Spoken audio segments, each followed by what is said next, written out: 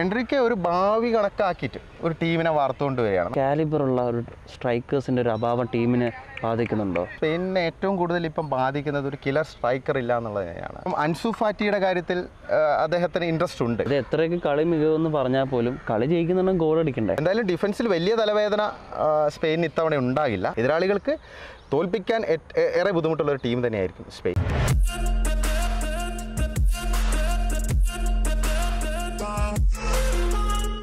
നിതിൻ നമ്മുടെ സ്പെയിനില്ലേ? സ്പെയിൻ രണ്ടായിരത്തി പത്തിലെ ചാമ്പ്യനാണ് വേൾഡ് കപ്പ് ചാമ്പ്യൻ. രണ്ടായിരത്തി എട്ടിലെ യൂറോ ജയിച്ചു രണ്ടായിരത്തി പന്ത്രണ്ടിലെ യൂറോ ജയിച്ചു. ഏകദേശം ഒരു അഞ്ച് വർഷക്കാലം ലോകത്തെ അടക്കി ഭരിച്ചൊരു ടീമാണ് സ്പെയിൻ.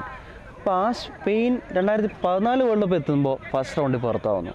പിന്നെ അവരെ കുറിച്ച് ഒരു അനക്കമേ ഇല്ല. അപ്പോൾ ഈ ഒരു സ്റ്റേജിൽ ഇപ്പോൾ ഇതിപ്പോൾ രണ്ടായിരത്തി ഇരുപത്തിരണ്ട് വേൾഡ് കപ്പ് അടുത്ത് വരുമ്പോൾ ഇപ്പോൾ ഈ നടന്ന ഈ U F A Nations League സെമിയിൽ അവർ കടന്ന് പോർച്ചുഗലിനെ തോൽപ്പിച്ചു. അപ്പോൾ സ്പെയിൻ ഒരു ഒരു ട്രാൻസ്ഫോർമേഷനിലേക്ക് വീണ്ടും ആ ഒരു പ്രതാപകാലത്തേക്ക് ഒരു തിരിച്ചു വരും. ഒരു റീബിൽഡിങ് നടക്കുന്നുണ്ടെന്ന് എനിക്ക് തോന്നുന്നുണ്ട്. അതിനെ അതിനെക്കുറിച്ച് എന്തുവാ പറയാനുള്ളത്? എനിക്ക് തോന്നുന്നു റീബിൽഡിങ് നടക്കുന്നുണ്ട്. അത് ഡെഫിനറ്റ്ലി കറക്റ്റാണ് കാരണം കോച്ച് എൻട്രിക്കയുടെ നേതൃത്വത്തിൽ. ലൂയിസ് ആ കുറച്ച് കാലമായിട്ട് അദ്ദേഹം കറക്റ്റായിട്ട് ഈ യങ് പ്ലെയേഴ്സിനെ സ്പോട്ട് ചെയ്തിട്ട് ഇപ്പം ചെറിയ ക്ലബ്ബുകൾ താരതമ്യേന സ്പെയിനിലെ ചെറിയ ക്ലബ്ബുകളായ V R I L Athletic Bilbao ഇവിടേക്കുള്ള നല്ല മികച്ച കളിക്കാരെ അദ്ദേഹം സ്പോട്ട് ചെയ്തിട്ട് യൂത്ത് കളിക്കാരെ സ്പോട്ട് ചെയ്തിട്ട് അവസരങ്ങൾ കൊടുക്കുന്നുണ്ട്. എന്നിട്ട് കൃത്യമായിട്ട് ഒരു ടീമിനെ വളർത്തിക്കൊണ്ടുവരികയാണ് അതിന്റെ ഒരു റിസൾട്ട് ഉണ്ട് ഇല്ലയെന്ന് പറയാൻ പറ്റില്ല. കാരണം two thousand twenty Euro Cup കഴിഞ്ഞ വർഷമാണ് നടന്നത് കോവിഡ് കാരണം ഒരു വർഷം വൈകിട്ടാണ് നടന്നത്. അതിൽ അവർ സെമി വരെ എത്തിയല്ലോ. നല്ല കളിയാണ് കളിച്ചത്. ഇറ്റലിക്ക് എതിരെ ശരിക്കും അന്ന് ഏറ്റവും മികച്ച കളി കളിച്ച ചാമ്പ്യന്മാരായ ഇറ്റലി ശരിക്കും വിറപ്പിച്ചേക്ക ടീം സ്പെയിൻ ആയിരുന്നു. ഇറ്റലി ശരിക്കും ഔട്ട് പ്ലേ ചെയ്തിരുന്നു. പിന്നെ പെനൽറ്റി ഷൂട്ടൗട്ടിൽ അവർക്ക് തോൽവി വഴങ്ങേണ്ടി വന്നതാണ്. അതൊരു ദൗർഭാഗ്യമായിരുന്നു പിന്നെയാണെങ്കിൽ ഇപ്പം നിലവിൽ ഇപ്പം U F A Nations League ഇപ്പം അതിനുശേഷം യു എഫ് എ നേഷൻസ് ലീഗിന്റെ ഫൈനൽ വരെ എത്തി. യൂറോ കപ്പിന് ശേഷമായിരുന്നു യു എഫ് എ നേഷൻസ് ലീഗിന്റെ സെമി മത്സരങ്ങൾ. അതിൽ ഫൈനൽ വരെ എത്തി. അതിലും ഫ്രാൻസിനെ ലോക ചാമ്പ്യന്മാരായ ഫ്രാൻസിനെ ശരിക്കും അവർ നല്ലൊരു ഫൈറ്റിംഗ് സ്പിരിറ്റോട് കൂടി കളിച്ച് അറിയില്ല ആ മത്സരം വളരെ ആവേശകരമായിരുന്നു. ദൗർഭാഗ്യകരമായ ഒരു മത്സരം തന്നെയായിരുന്നു. അല്ലെങ്കിൽ സ്പെയിൻ അന്ന് കപ്പ് നേടാൻ സാധിക്കുമായിരുന്നു. അപ്പം ആ അതും നടന്നു. ഇപ്പോൾ വീണ്ടും യു എഫ് എ നേഷൻസ് ലീഗിന്റെ ടു തൗസൻഡ് ട്വന്റി ത്രീയുടെ എഡിഷന്റെ സെമിയിൽ എത്തിയിരിക്കുകയാണ് പോർച്ചുഗലിനെയാണ് ഇപ്പോൾ ലാസ്റ്റ് മാച്ചിൽ അതായത് ഒരു മത്സരത്തിൽ അവർക്ക് ജയം അനിവാര്യമായിരുന്നു ലാസ്റ്റ് മത്സരത്തിൽ. പോർച്ചുഗലിന് ജസ്റ്റ് സമനില മതിയായിരുന്നു. സമനില മതിയായിരുന്നു. പക്ഷേ എന്നിട്ട് പോലും അതും പോർച്ചുഗൽ അവർ തോൽപ്പിച്ചു. സ്പെയിൻ ടീം ഒരുപാട് മേഖലകളിൽ ഇനി ഇമ്പ്രൂവ് ചെയ്യേണ്ട അക്കാര്യത്തിലൊന്നും തർക്കമൊന്നുമില്ല. പക്ഷേ എൻട്രിക്ക് ഒരു ഭാവി കണക്കാക്കിയിട്ട് ഒരു ടീമിനെ വാർത്തുകൊണ്ട് വരികയാണ്. നമുക്കറിയാലോ സ്പെയിനിലെ പല കളിക്കാർ ഇപ്പോൾ പെദ്രി ഗാവി ഇവരെല്ലാം വളരെ യൂത്തായ കളിക്കാരാണ്. പത്തൊമ്പതും പതിനെട്ടും വയസ്സൊക്കെയുള്ള താരങ്ങളാണ്. അപ്പം അങ്ങനെ അദ്ദേഹം ഒരു പുതിയ ടീമിനെ ഡെവലപ്പ് ചെയ്ത് കൊണ്ടുവരാനുള്ള ശ്രമത്തിലാണ് ആ പ്രോസസ്സ് നടക്കുന്നുണ്ട്. സ്ഥിരതയാർന്ന പ്രകടനം സ്പെയിന്റെ ഭാഗത്തുനിന്ന് ഉണ്ട്. പക്ഷേ ചില സമയങ്ങളിൽ ചില അപ്രതീക്ഷിത തോൽവികൾ വഴങ്ങുന്നത് ഒരു പ്രോബ്ലമാണ് ഇപ്പം കഴിഞ്ഞ മത്സരത്തിൽ പെട്ടെന്ന് സ്വിറ്റ്സർലാൻഡിനോട് ആരും പ്രതീക്ഷിക്കാതെ യു എഫ് ലീഗിന്റെ ആ, ഇപ്പം മുമ്പത്തെ മത്സരം ഉണ്ടല്ലോ അതായത് പോർച്ചുഗലിന്റെ മത്സരത്തിന് മുമ്പുള്ള പോരാട്ടം തോറ്റു. അപ്പോൾ അങ്ങനെയുള്ള ചില ഇതുണ്ട്. അത് ടീം ഒന്നും കൂടി ഒന്ന് സെറ്റ് ആവേണ്ടതുണ്ട്. എനിക്ക് തോന്നുന്നു അതായത് മുന്നേറ്റ നിരയിൽ അതായത് സ്ട്രൈക്കേഴ്സ് ഒരു പഴയ കാല അതായത് ഡേവിഡ് വിയും ടോറസ് ഒക്കെ ഉള്ള ഒരു സമയത്ത്. അപ്പോൾ അവരെ പോലെ ഒരു കാലിബറുള്ള ഒരു സ്ട്രൈക്കേഴ്സിന്റെ ഒരു അഭാവം ടീമിനെ ബാധിക്കുന്നുണ്ടോ? പിന്നെ തീർച്ചയായിട്ടും ഉണ്ട്. ഈ അൽവാറോ മൊറാട്ടോ എന്ന് പറയുന്ന അവരെയും ഗണത്തിൽപ്പെടുത്താൻ പറ്റുന്നില്ലല്ലോ അതെ അതെ അതെ. അത് ഉറപ്പാണ്. അത് കൃത്യമായിട്ട് സ്പെയിനിനെ ഏറ്റവും കൂടുതൽ ഇപ്പം ബാധിക്കുന്നത് ഒരു കിലർ സ്ട്രൈക്കർ ഇല്ല എന്നുള്ളത് തന്നെയാണ് അത് അക്ബർ പറഞ്ഞതാണ് കറക്റ്റ്. കാരണം ഒരു നല്ല ഒരു ഗോൾ സ്കോററോ ഒരു കിലർ സ്ട്രൈക്കറോ സ്പെയിനില്ല. കാരണം മിഡിൽ അത്ര പ്രശ്നങ്ങളില്ല. കാരണം ഗാവിയുണ്ട് പെദ്രിയുണ്ട്. എക്സ്പീരിയൻസ് ആയ ബുസ്കറ്റ്സ് ഉണ്ട്. അത് കൂടാതെ തന്നെ കൊക്കയുണ്ട്. അത്ലറ്റിക്കോ മാഡ്രിഡിന്റെ വളരെ എക്സ്പീരിയൻസ് ആയ മിഡ്ഫീൽഡറും ക്യാപ്റ്റനൊക്കെ ഓപ്ഷൻസ് ഉണ്ട്. പക്ഷേ അറ്റാക്കിംഗ് വരുമ്പം അത് ഫീൽ ചെയ്യുന്നുണ്ട്. കാരണം ഒരു വേൾഡ് ക്ലാസ് പ്ലെയർ നിലവിലില്ല. കാരണം ഇപ്പോൾ ഡേവിഡ് വിയെയോ അല്ലെങ്കിൽ ഡിയാഗോ കോസ്റ്റയെയോ അല്ലെങ്കിൽ ഫെർണാൻഡോ ടോറസിനെയൊക്കെ പോലുള്ള ഒരു ടോപ്പ് ആയിട്ടുള്ള ഒരു സ്ട്രൈക്കറോ അല്ലെങ്കിൽ ആ രീതിയിലുള്ള ഒരു പ്ലെയർ നിലവിൽ ഇപ്പം ഫാബ്രിക്കാസിനെയൊക്കെ പോലെ ആ ഒരു സ്റ്റാൻഡേർഡുള്ള ഒരു പ്ലെയർ നിലവിലില്ല.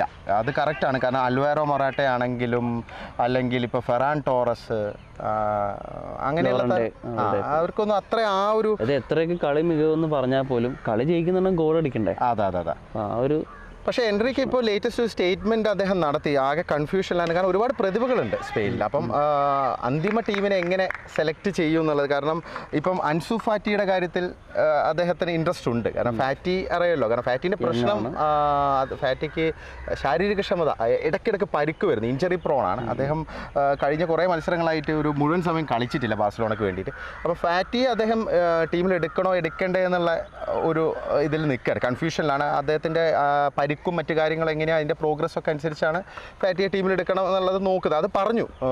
എൻട്രിക്ക് പറഞ്ഞു. കാരണം എനിക്ക് തോന്നുന്നു നല്ലൊരു സ്ട്രൈക്കർ ഇല്ലാത്ത അല്ലെങ്കിൽ നല്ല നല്ലൊരു ഫോർവേഡ് ഇല്ലാത്തതിന്റെ ഒരു അഭാവം എൻട്രിക്കും കൃത്യമായിട്ട് അറിയാം. പിന്നെ മറ്റ് ചില താരങ്ങളുടെ കാര്യത്തിലും അദ്ദേഹം നോക്കുന്നുണ്ട്. കാരണം ഇപ്പം നോക്കുകയാണെങ്കിൽ ഇപ്പം മാർക്കോ എസൻസിയുടെ ഒരു സ്റ്റാറ്റസും എൻട്രിക്ക് ഒക്കെ നോക്കിയിട്ടുണ്ട്. അപ്പം സ്വാഭാവികമായിട്ടും ഈ ഒരു അറ്റാക്കിംഗ് സ്പെയിൻ ഇത്തവണ ഒരു ചെറിയ തലവേദനയാകാൻ സാധ്യതയുണ്ട്. ചെറിയല്ല കാരണം ഗോളുകൾ കൃത്യമായിട്ട് നമുക്കറിയാം സ്പെയിന്റെ റിസൾട്ട് വരുമ്പോഴും കൃത്യ സമയത്ത് ഗോൾ വീഴുന്നില്ല. അപ്പോൾ സ്പെയിൻ എല്ലാ കളിയിലും നല്ലൊരു പൊസിഷൻ ഗെയിം കളിക്കുന്നുണ്ട്. പക്ഷേ ഗോൾ വരുന്നില്ല എന്നുള്ളതാണ്. അതെ അതെ അതെ. കളി ഈ മധ്യനിരയിൽ ഇങ്ങനെ തളച്ചിടുന്ന രീതിയിലേക്ക് പോകുന്നു. ഇപ്പം പോർച്ചുഗലിനെതിരെ കളി നമ്മൾ കണ്ടതാണ് പോർച്ചുഗലിനെതിരെ പോർച്ചുഗലിനാണ് കുറച്ചും കൂടെ ക്ലിയർ കട്ട് ചാൻസസ് കിട്ടിയത്. പക്ഷേ സ്പെയിൻ ഇങ്ങനെ മധ്യനിരയിൽ കളി ഇങ്ങനെ മെനഞ്ഞുകൊണ്ട് ഇങ്ങനെ അല്പം ബോറിംഗ് ആയിട്ട് തോന്നുന്നത് അത് ഈ ടിക്കി ടാക്ക ശൈലി നമുക്കറിയില്ല. ടൂ തൗസൻഡ് എയ്റ്റ് മുതൽ അത് ഇംപ്ലിമെന്റ് ചെയ്തു. അരോഗാനസ് എന്ന് പറയുന്ന പഴയ കോച്ചാണ് അത് കൊണ്ടുവന്നത്. അത് ഡെൽബോസ്കോ തുടർന്നു. അത് വലിയ വിജയങ്ങൾ നേടിക്കൊടുത്തു. സ്പെയിന്റെ ചരിത്രത്തിൽ ഏറ്റവും മികച്ച ടീം എന്നുള്ള രീതിയിൽ അത് കൃത്യമായിട്ട് ആ കളി ഉപയോഗിച്ചുകൊണ്ട് പന്ത് നേടുക കൃത്യമായിട്ട് പാസ് ചെയ്യുക. ആ ഒരു സ്റ്റൈൽ ശൈലി കൃത്യമായിട്ട് തന്നെ അത് അവർ വിനിയോഗിച്ചു. പക്ഷേ ഇപ്പോൾ അത് അല്പം ബോറിംഗ് ആയിട്ട് തോന്നുന്നുണ്ട്. കാരണം അത് ഈ പൊസിഷൻ ഗെയിമിനൊപ്പം നല്ല സ്ട്രൈക്കേഴ്സോ അല്ലെങ്കിൽ നല്ല ഫോർവേഡും കൂടി ഉണ്ടെങ്കിലാണ് ഇതിന്റെ ഒരു കറക്റ്റ്നെസ്. റിസൾട്ട് വരുള്ളൂ. കാരണം മുമ്പ് അത് ഉണ്ടായിരുന്നു കാരണം സാബിയും ഇനിയസ്റ്റിയും മധ്യനിര നിയന്ത്രിക്കുമ്പോൾ സാബി അലോൺസോ ഉണ്ട്. വളരെ നല്ലൊരു മിഡ്ഫീൽഡ് ആണ്. ബുസ്കറ്റ്സ് ഉണ്ട്. അപ്പം അതിന് തത്തുല്യമായ അല്ലെങ്കിൽ അതിന് അതേ രീതിയിലുള്ള നല്ല ഫോർവേഡ്സും സ്ട്രൈക്കേഴ്സും ഉണ്ടായിരുന്നു. നമ്മൾ നേരത്തെ സൂചിപ്പിച്ചത് തന്നെ ഡേവിഡ് വി ആണെങ്കിലും ഫെറാൻ ടോറസ് ആണെങ്കിലും. ഇപ്പോൾ അങ്ങനെ ഫെറാൻ ടോറസ് അല്ല ഫെർണാൻഡോ ടോറസ് ആണെങ്കിലും മാറിപ്പോയി. ഫെർണാൻഡോ ടോറസ് ആണെങ്കിലും. അപ്പം സ്വാഭാവികമായിട്ടും ഈ ഒരു സിങ്ക്രണൈസേഷൻ ഇല്ലാത്തത് സ്പെയിന് കുറച്ച് തലവേദനയായിരിക്കും. പക്ഷേ എന്നാലും സ്പെയിനിനെ അത്ര എളുപ്പത്തിൽ തോൽപ്പിക്കാൻ പറ്റുന്ന ഒരു ടീമൊന്നുമല്ല. ചേട്ടാ ഡിഫൻസിലേക്ക് വരുമ്പോൾ അവർ സേഫാണ് തോന്നുന്നു. കാര്യം ഇപ്പോഴും സ്റ്റിൽ നല്ല വെൽ എക്സ്പീരിയൻസ് ആയിട്ടുള്ള നല്ല കഴിവുള്ള പ്ലേയേഴ്സ് ആണല്ലോ ഇപ്പോഴും ഉള്ളത്. അതായത് നമ്മുടെ പുയോളിനും അതുപോലെ റാമോസിനും ഇവർക്ക് ശേഷം അതായത് പിക്ക് അവർക്ക് ശേഷം അവരെയൊക്കെ ലെവലിൽ നിൽക്കുന്ന ഒരു എക്സ്പീരിയൻസ് നല്ല കഴിവുള്ള പ്ലേയേഴ്സ് ഇപ്പോഴും ഡിഫൻസിലുണ്ട്. നമ്മുടെ ജോർഡി ആൽബ ഇവരെയൊക്കെ പോലെ എങ്ങനെ തോന്നുന്നു? ആ ഒരു ഡിഫൻസ് സ്പെയിന്റെ ഡിഫൻസ് ഒരു എക്സ്പീരിയൻസ്ഡ് ആണ്. അതേസമയം യൂത്ത് ആയിട്ടുള്ള കുറച്ച് താരങ്ങളുണ്ട്. ഒരു മിക്സ് ആണ്. ഇപ്പം നമുക്ക് പറയാൻ പറ്റുകയാണെങ്കിൽ ഇപ്പോൾ ഈ നേരത്തെ അക്ബർ സൂചിപ്പിച്ച ലെജൻഡറി പ്ലെയേഴ്സ് ആയിട്ടുള്ള സെർജിയോ റാമോസ് പുയോൾ അല്ലെങ്കിൽ പിക്വേ ഇവർക്ക് ശേഷം വന്നൊരു ടീമും കൂടി ഉണ്ടല്ലോ. അപ്പം നമുക്ക് പറയാൻ പറ്റുകയാണെങ്കിൽ ഇപ്പം സീസർ ആസ്പെലിക്യൂട്ട ചെൽസിയുടെ വളരെ എക്സ്പീരിയൻസ് ആയിട്ടുള്ള ഡിഫൻഡറാണ് മികച്ച ഡിഫൻഡറാണ് പിന്നെ റയൽ മാഡ്രിഡിന്റെ ഇപ്പം നല്ല ഫോമിലുള്ള കർവഹാൽ ഡാനി കർവഹാലുണ്ട് പിന്നെ അതുകൂടാതെ തന്നെ ഇപ്പം നമുക്ക് പറയാൻ പറ്റും ജോർഡി ആൽബ. ജോർഡി ആൽബ ഒരു രക്ഷയില്ലാത്ത പ്ലെയർ ആണ്. കാരണം അധ്വാനിച്ച് കളിക്കുന്നതാണ്.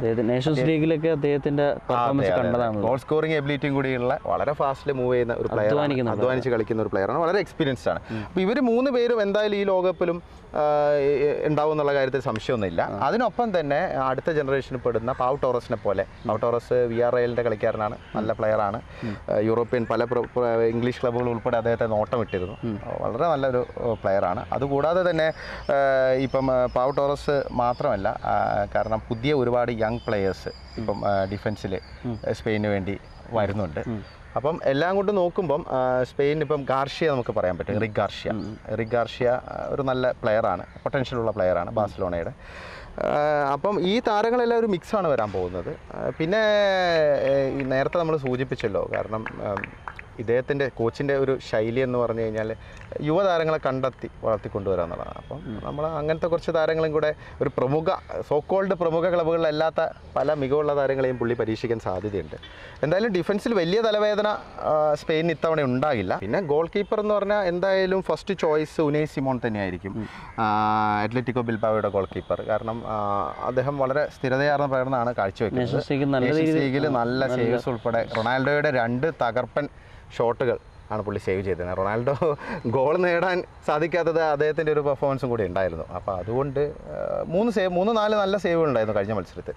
അപ്പം അവർ വേറെ ഗോൾ കീപ്പേഴ്സിനൊന്നും അപ്പം സാധ്യതയില്ല. കാരണം ഇപ്പോൾ ഡേവിഡ് ഡിഹയൊന്നും എന്തായാലും ടീമിൽ ഉൾപ്പെടാൻ സാധ്യതയില്ല. കാരണം ഇപ്പോഴത്തെ ഒരു ഫോം വെച്ച് ഉനൈ സിമൺ തന്നെയായിരിക്കും ഫസ്റ്റ് ചോയ്സ് ഗോൾ കീപ്പർ അപ്പോൾ ഏതായാലും സ്പെയിൻ നല്ല രീതിയിൽ പെർഫോം ചെയ്യുന്നതിന് നമ്മൾ പ്രതീക്ഷിക്കുന്നു. ആ ഒരു പ്രതാപകാലത്തേക്ക് അവർ ലോകം അവരുടെ ആ ഒരു ടിക്കി ടാക്ക സ്റ്റൈൽ ആസ്വദിക്കട്ടെ നമുക്ക് ആശംസിക്കാം. സ്പെയിന്റെ ഗ്രൂപ്പിൽ ജർമ്മനി ഉണ്ട് അപ്പം നല്ലൊരു മത്സരം നമുക്ക് ഫസ്റ്റ് റൗണ്ടിൽ തന്നെ കാണാൻ പറ്റും. കാണാൻ പറ്റും. ആരാണ് ഗ്രൂപ്പ് ചാമ്പ്യന്മാരാകുക എന്നുള്ളതായിരിക്കും ഒരു വലിയ ഒരു ചോദ്യം. രണ്ട് ലോക ചാമ്പ്യന്മാർ തമ്മിൽ ഫസ്റ്റ് ഗ്രൂപ്പിൽ തന്നെ മത്സരം എപ്പോഴും അത് നല്ലതാണ് ഒരു ടീമിനെ സംബന്ധിച്ചിടത്തോളം. കാരണം ആദ്യം അല്പം ഉഴപ്പി കളിക്കുന്നതിന് പകരം ആദ്യം തന്നെ നല്ലൊരു സ്ട്രോങ് ടീമിനെ കിട്ടുമ്പോൾ ആ ഒരു സ്റ്റാർട്ടിങ് നന്നാവുകയാണെങ്കിൽ ആ ഒരു ആത്മവിശ്വാസം കൂടും. അതിപ്പോൾ ജർമ്മനിക്കാണെങ്കിൽ സ്പെയിനാണ് അത് ഗുണം ചെയ്യും.